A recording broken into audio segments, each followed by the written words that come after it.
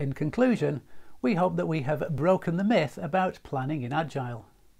Agile projects are far less chaotic than traditional project managers perceive them to be. In fact, practices such as time boxing and frequent and early releases give a discipline to many Agile projects superior to any traditional project. The Agile Manifesto is often misinterpreted, especially the following. We have come to value 1 working software over comprehensive documentation, and two, responding to change instead of following a plan. Too often these values are cited as an opportunity to dispense with documentation and project planning, which is not what was intended by the manifesto.